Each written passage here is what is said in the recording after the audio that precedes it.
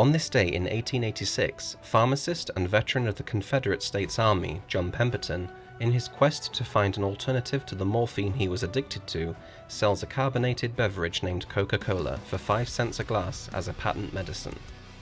The drink took its name from coca leaves, which added an amount of cocaine to the drink, and the African kola nut, the drink's source of caffeine.